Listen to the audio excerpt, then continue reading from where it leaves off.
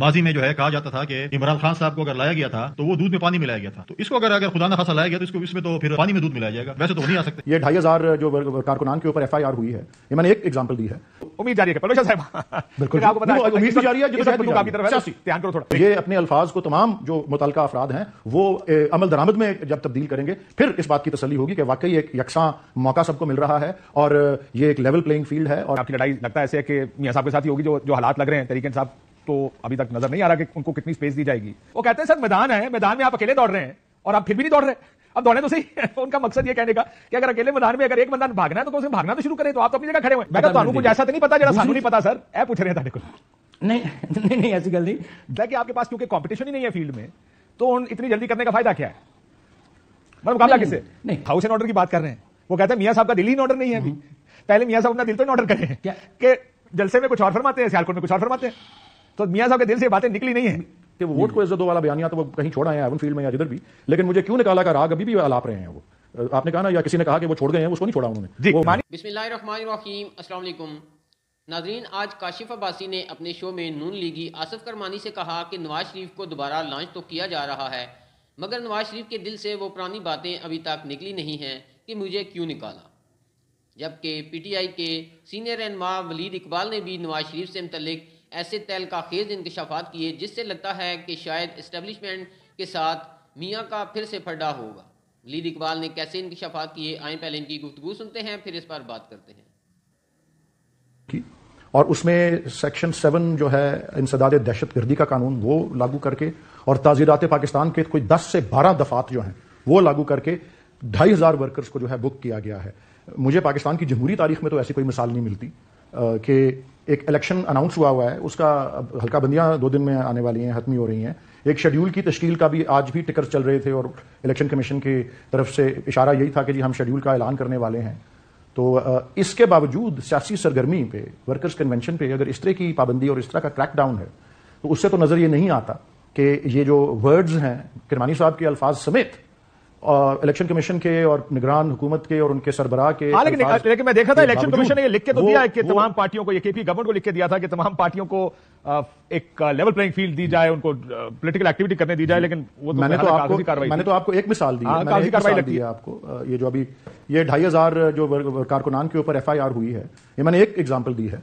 आप उसके अलावा मैं सिर्फ़ ये अंग्रेज़ी का एक हाँ, मुहावरा बोलना speak actions actions speak louder than words तो ये अपने अल्फाज को तमाम जो मुतल अफराद हैं वो ए, अमल दरामद में जब तब्दील करेंगे फिर इस बात की तसली होगी कि वाकई एक यकसा मौका सबको मिल रहा है और ये एक लेवल प्लेइंग फ़ील्ड है और सबके लिए हमवार है और ये इलेक्शन जो है ये इंक्लूसिव है। ये उसके अलावा अभी ये जो पार्टीजान नहीं है रोज पहले आपने तजिया अब ये जी जी अब मैं आपको ये भी अर्ज़ कर दूँ कि ये जो इलेक्ट्रल सिंबल के हवाले से और इलेक्शन करवाने के हवाले से अब चौधरी एतजाज साहब का भी आप जो हाल ही में बयान आया है उसको भी देख लें कि इलेक्शन कमीशन को उन्होंने किन अल्फाज में याद किया है इस हवाले से। लेकिन उस पर पिल्डाट के सरबराह जो है बिलाल महबूब साहब उनको आप बुलाते रहते हैं अपने प्रोग्राम में उन्होंने एक तफसीली जायजा दिया है कि पाकिस्तान की जमहूरी तारीख में किसी पार्टी के इंट्रा पार्टी इलेक्शन को इस तरीके से नहीं जो है स्क्रूटनी की गई। उसका जायजा लिया गया और इस तरीके से उसको नहीं उसकी धज्जियाँ नहीं उड़ाई गई जिस तरह इस वक्त हुआ है। ठीक। पलबाशा साहब देखते हैं कि किसी और पार्टी के इंटर पार्टी इलेक्शन को यह सलूक मिलता है इनकी तरफ़ से या नहीं मिलता? मैं आपको एक चीजा चीजा मिसाल मैं उम्मीद उम्मीद जारी रखी। तो, उम्मीद जारी रखे। पलबाशा साहब बिल्कुल आपको पता है उम्मीद भी जारी है आपकी तरफ़ ध्यान करो थोड़ा। पलबाशा साहब एक तो मैं आता हूँ कि ये जो जो इल्ज़ाम मैंने अभी कुली साहब को भी सुनाया आपको। बिलावल साहब हर तकरीर में अब लगता है ऐसा कि उनका हदफ मियाँ साहब है। ये इलेक्शन तक का माहौल है जिसमें आपने एंटी नवाज़ शरीफ पॉलिटिक्स करनी है? क्योंकि पंजाब में आपकी लड़ाई लगता है ऐसे है कि मियाँ साहब के साथ ही होगी जो जो हालात लग रहे हैं तरीके साहब तो अभी तक नज़र नहीं आ रहा कि उनको कितनी स्पेस दी जाएगी। यार इलेक्शन के बाद आप लोग इकट्ठे होकर हुकूमत बनाएँगे? क्योंकि सारे एक नेशनल गवर्नमेंट की बात कर रहे हैं पीडीएम नुमान पीडीएम टू की बात कर रहे हैं सारे। डू यू थिंक ये इलेक्शन से पहले की कार्रवाई है, उसके बाद सारे दोबारा इकट्ठे होंगे? देखिए, काशिफ इलेक्शन लड़ने के लिए तो एक दूसरे की को जो है अपोज करना पड़ता है। सभी एक दूसरे की तारीफें शुरू कर दें तो फिर इस तरीके से तो आ, किसी का इंतखब नहीं हो सकता।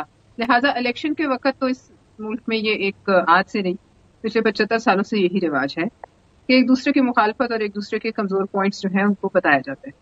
तो मुझे समझ नहीं आता कि हमसे क्यों एक्सपेक्ट किया जाता है कि इलेक्शन के दौरान भी हम एक पार्टी जिसके साथ वो कि हम पहले भी बैठे हैं एक अलायंस में इस दफ़ा भी बैठे हैं। तो उसके हम आ, मतलब अगर उनकी बातों को शाबाश अगर कोई ऐसी बात है तो खैर देनी भी चाहिए। लेकिन हम कोई एक मंशूर पे तो इलेक्शन लड़ नहीं रहे। चलो दो तीन शाबाशें दिखाएँ बताएँ कौन कौन सी चीज़ पे देनी चाहिए? वैसे आप तो इतना अरसा आप देखती भी नहीं है अठारह महीने की हुकूमत को। बताएँ किस चीज़ पे शाबाश दें साहब? एक तो ये शाबाश के लायक बात थी कि डिस्पाइट हमारे आपस में बड़े फ़र्क हैं। हमारे वर्कर्स एक दूसरे पर और हमारे लीडर्स जो हैं वो एक दूसरे से कई ऐसी हमारी लीडरशिप में रैंक्स हैं जो एक दूसरे के साथ बैठने को पसंद नहीं करते। लेकिन उसके बावजूद मुझे ये एक बात इसमें बहुत अच्छी नज़र आती है कि तमाम तर डिफरेंसेस को एक तरफ़ करके और एक जो है हम बड़े मकसद के लिए इकट्ठे हुए।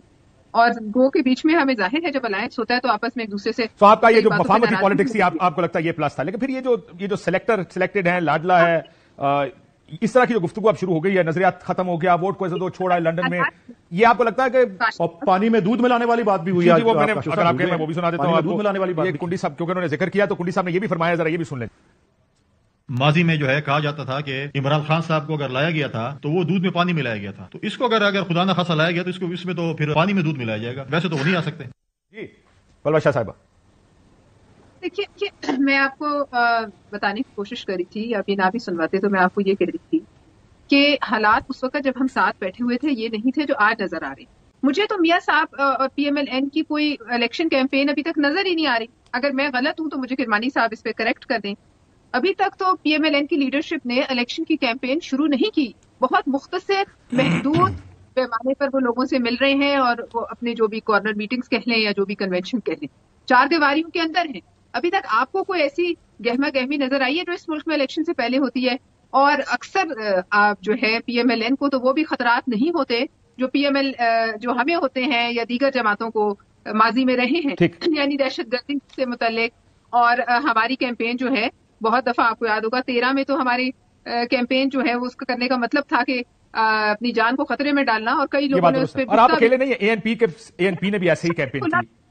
समझ नहीं आ रही कि इस्तीफा इस्तीफा तो उससे भी बड़ा मैदान है इनके पास। इस्तीफा तो मतलब इनके ऊपर बड़ी मेहरबानी है फिर भी मतलब कोई कैंपेन नहीं चल रही। ये क्या तो वजह है? करमानी साहब मुझे ब्रेक लेने दें। क्या? वो कहते हैं सर मैदान है मैदान में आप अकेले दौड़ रहे हैं और आप फिर भी नहीं दौड़ रहे।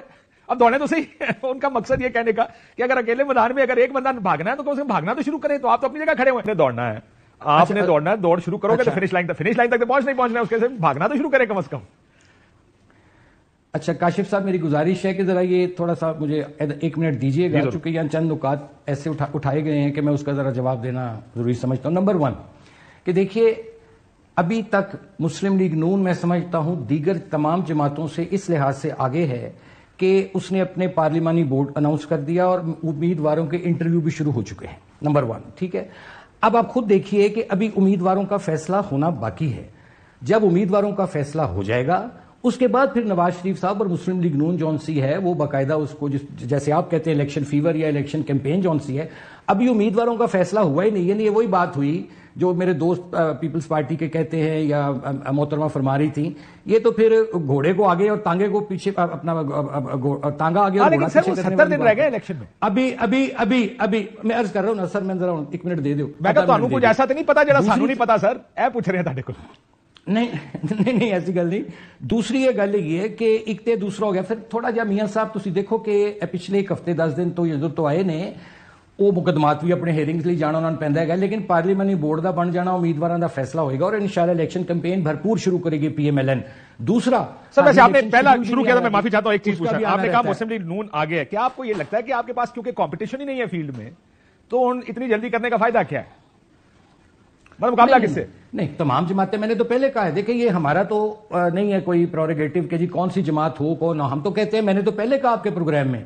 कि मैं तो यहाँ तक जाने को तैयार हूँ कि पीटीआई समेत तमाम जमातों को इजाज़त होनी चाहिए और आजादाना इलेक्शन की माइनस जो लोग नौ मई के साथ यहाँ के सिलसिले में मुकदमात में मतलूब है उनके अलावा। वली साहब अभी तो लगता है ऐसे ही है शेर शेर शेर शेर अफजल मरवत साहब तो खड़े हो गए उन्होंने कहा जनाब चेयरमैन इमरान खान नहीं है। कहते हैं मैं समझने से काजर हूँ ये तजाद क्यों फैलाया जा रहा है? मेरे सामने बैरिस्टर गौर मौजूद थे शायद अली ज़फ़र साहब मौजूद थे हम सारों के सामने खान साहब ने ये बात कही। So should we take this as the final answer के चेयरमैन तरीके इंसाफ इमरान खान नहीं होंगे कोई और होगा? मैं उसके ऊपर कोई तबसरा इसलिए नहीं कर सकता क्योंकि उससे तो उसके लिए बेस्ट यही है कि आप मरवत साहब को दावत दें और उनसे पूछें कि वो क्या कहना चाह रहे हैं। या उन्होंने क्या सुना you- है? you और या अली ज़फ़र साहब अगर वहाँ मौजूद थे या गौहर साहब वहाँ मौजूद थे वो उनसे वही उस पर रोशनी डाल सकते हैं। मैं तो वहाँ मौजूद नहीं ठीक हो गया, लेकिन मेरे पास तो पार्टी का बड़ा वाजह है इस बात पर। कि कोई कयास आ रही इसके ऊपर नहीं होनी चाहिए। अभी हम जुमे के दिन अपना अंदरूनी इंतखाब कर रहे हैं अपने आइन के मुताबिक मुतलका कानून के मुताबिक बिल्कुल ठीक हो गया सर, उसमें कौन आएगा वो- जो सियासी जमात को करना चाहिए। जैसे मैंने कहा कि सुना मैंने ये वो कि सुप्रीम लीडर होगा हुआ कि किसने क्या बनना टाइटल खान साहब का। करमानी साहब बीबी ने एक और चीज़ ये तो आपसे मैं बात सुन रहा हूँ जी मैंने तो ये कहीं और मैं मैं बता रहा हूँ ना सर। मैंने नहीं सुनी ये बात जी जी मैंने सुनी है इसलिए कह रहा हूँ। सो किरमानी साहब तो बीबी ने एक जवाबी वार किया आप पर। आप उनकी हाउस एंड ऑर्डर की बात कर रहे हैं। वो कहते हैं मियाँ साहब का दिल ही इन ऑर्डर नहीं है अभी। पहले मियाँ साहब अपना दिल तो इन ऑर्डर करें। हम्म। क्या? कि जलसे में कुछ और फरमाते हैं सियालकोट में कुछ और फरमाते हैं। तो मियाँ साहब के दिल से बातें निकली नहीं है। नहीं। एक सेकंड काशिफ साहब मैं एक जुमला बोलना चाहता हूँ कि उन- आपने ठीक फरमाया है कि वो वोट को इज़्ज़त दो वाला बयानिया तो वो कहीं छोड़ आए हैं एवन फ़ील्ड में या जिधर भी। लेकिन मुझे क्यों निकाला का राग? अभी भी अलाप रहे हैं वो। आपने कहा ना या किसी ने कहा कि वो छोड़ गए हैं उसको नहीं छोड़ा। उन्होंने। वो वक्तन फवक्तन बात को याद आती रहती है ये बात जो मैंने देखा है। और वो अपने वो खड़े नहीं है एक जगह पर वो व्हील्स को व्हील्स को स्पिन कर रहे हैं कि वो पहिया फंसा हुआ है वही एक जगह पे स्पिन करता जा रहा है आगे नहीं बढ़ रही गाड़ी। जी ये मेरा अपना किरमानी साहब का जवाब ले लेते हैं जी इस पर। किरमानी साहब मेरे अपना और जवाब दो तो सीधे कहते हैं हाउस गुजारिश order house and order heart and house and order ताड़ा भी नहीं है नहीं बल्कि मैं ये कहूँगा कि सिर्फ़ अगर हाउस इन ऑर्डर है तो सिर्फ़ साढ़े ही है अच्छा अब मैं आपको आता हूँ जो यहाँ क्वेश्चन रेज किया गया। देखिए नवाज़ शरीफ साहब ने कौन सी कोई नई बात कह दी है? नवाज़ शरीफ साहब तवातर से यही कह रहे हैं ना कि तमाम जो इदारे हैं, उनको आइन और कानून के दायरे में रहना चाहिए। उसकी एक शक्ल है जिसको वोट को इज़्ज़त दो का बयानिया आप कहते हैं। और यहाँ जहाँ तक आपका कहना जी वो वोट को इज़्ज़त दो, क्या बयानिया छोड़ दिया है? तो जनाब, ये वोट को इज़्ज़त दो, क्या बयानिया ही है? और वो कामयाब हुआ है और सुरखरू हुआ है और उसको फतह मिली है जो आज इस मुल्क में इलेक्शन हो रहे हैं। वरना यहाँ तो लोग कुछ लोगों के साथ मिलकर पंद्रह पंद्रह साल के सदार और उसमें सदारती निज़ाम के लाने के पीछे पड़े हुए थे बात थे, की वजह से आपने वोट को आज- का नारा लगाया था पीपल्स पार्टी ये कह रही है कि आज आप बेनिफिशियरी बन गए उसके। वो तो टेबल से टर्न हो गए।